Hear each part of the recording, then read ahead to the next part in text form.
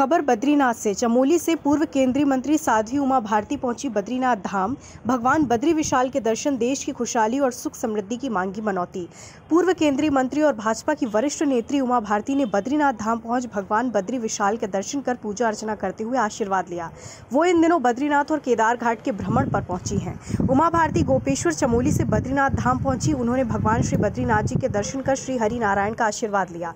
बद्रीनाथ मंदिर के मुख्य पुजारी रावल जी पूर्व केंद्रीय मंत्री की अभिषेक पूजा अर्चना की। बता दें, पूर्व केंद्रीय मंत्री उमा भारती पिछले कई सालों से प्रतिवर्ष यात्रा काल में बाबा केदार और बद्रीनाथ धाम के दर्शन के लिए आ रही हैं। साल 2016 में उन्होंने केदारनाथ धाम के कपाट बंद होने के बाद तीन दिन तक केदारपुरी में साधना भी की थी। पूर्व केंद्रीय मंत्री इन दिनों धार्मिक यात्रा भ्रमण पर हैं और यहाँ गढ़वाल हिमालय के मठ मंदिरों का दर्शन कर रही हैं। खबर भारतवर्ष के लिए बद्रीनाथ चमोली, उत्तराखंड से सुरेंद्र धनेत्रा की रिपोर्ट। अपने शहर, अपने प्रदेश की ताज़ा खबरों के लिए लाइक करें शेयर करें सब्सक्राइब करें। और हाँ बेल आइकन दबाना ना भूलें, क्योंकि खबर हमारी फैसला जनतंत्र का।